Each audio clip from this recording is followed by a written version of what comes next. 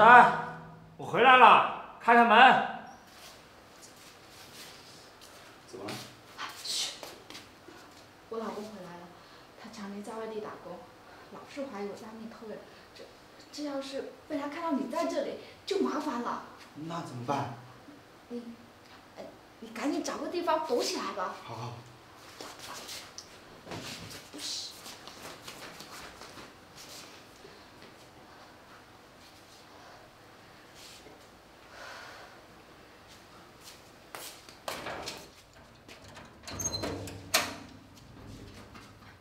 原来你在家呀？啊？那为什么我叫了那么久你都不给我开门呢？还有这门，你为什么给反锁了？我一个人在家睡觉，害怕嘛。睡觉？你睡觉穿的那么整齐啊？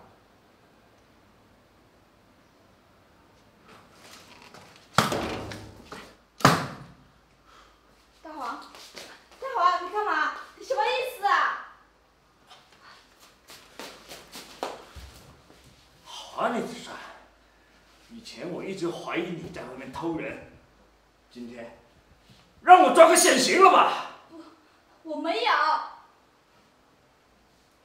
你这个奸夫，看我不打死你！哎，大哥，我不是奸夫啊！大华，大黄，啊，你别打了！大华，我跟他没关系啊。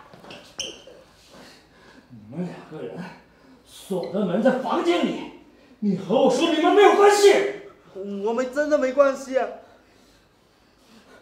我打死你！大华，不是这样的，你听我解释，听我解释。大哥，别打了，我只是个修水管的。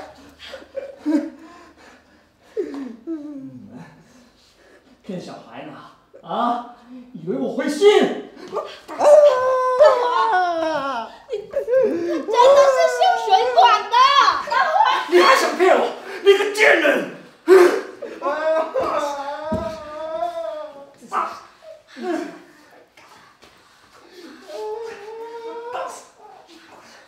大黄，啊！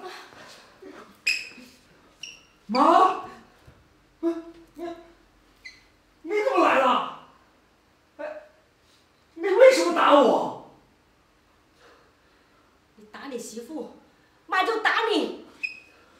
子珊怀孕了，我过来照顾她，却看见你在欺负她。你这个孽子！要是她和孩子有三长两短，你就别回来了。妈，你不知道，子珊她，她偷人。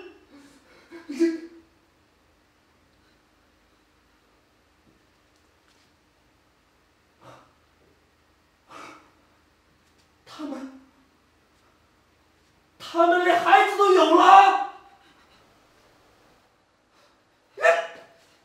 大哥，我真是个水电工，你可以打电话去我公司问，我那里还有预约记录呢。偷你个鬼啊！子珊怀孕了，怎么会偷人？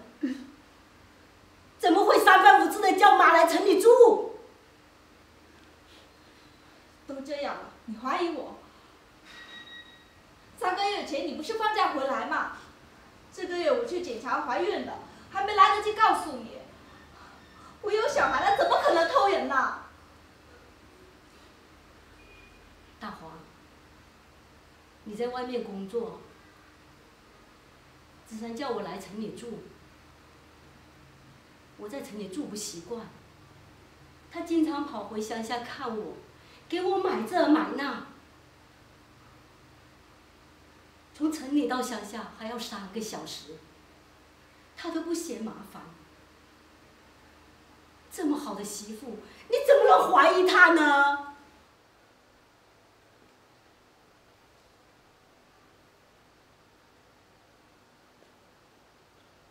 老婆，我错了，我不该怀疑你。那你保证，以后要先问清楚事情再处理，不能再怀疑我了。绝对不会的。那，那我先走了。我就不掺和你们家的事。不好意思啊，师傅，我把钱给你当医药费吧。兄弟，对不住啊，刚刚是我太冲动了。呃，要不，要不你打回我吧。算了算了，修理费我也不要了，我可招惹不起你们。这夫妻连基本的信任都没有，这就是悲剧，而我就是个惨剧，我招谁惹谁了？